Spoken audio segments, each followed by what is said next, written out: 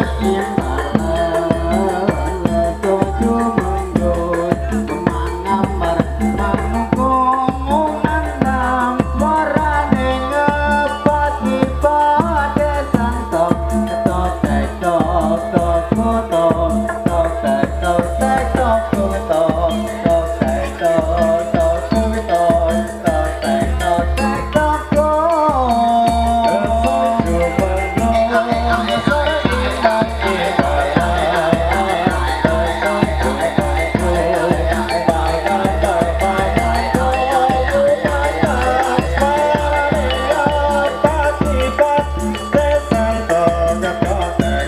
Grande São Paulo, é top, é.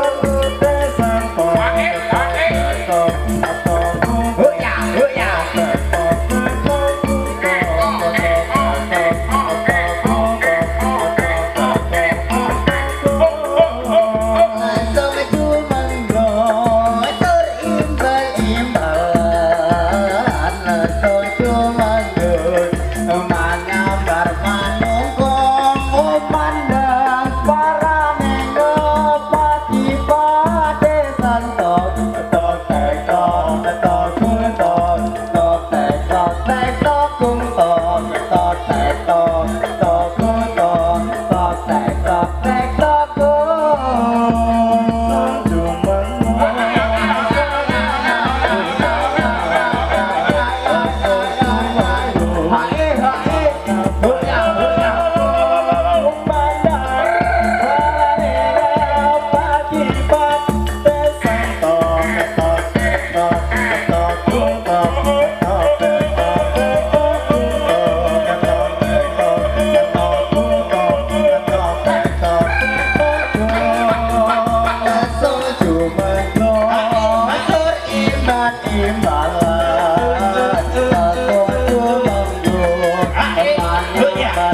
Oh.